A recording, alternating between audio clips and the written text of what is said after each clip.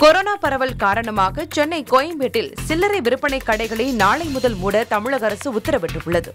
இதை கண்டித்து சிறுகடை வியாபாரிகள் போராட்டத்தில் ஈடுபட்டுள்ளனர்.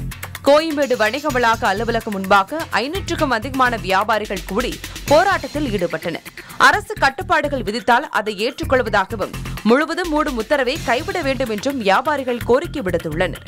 கொரோனா காரணமாக கடந்த ஆண்டு கோயம்பேடு சந்தை முற்றிலும் மூடப்பட்ட சூழலில் தற்போது சிறு கடைகளை மூடும் உத்தரவால் தங்கள் வாழ்க்கை முற்றிலும் பாதிக்கும் நிலை உள்ளதாக வியாபாரிகள் வேதனை தெரிவிக்கின்றனர்.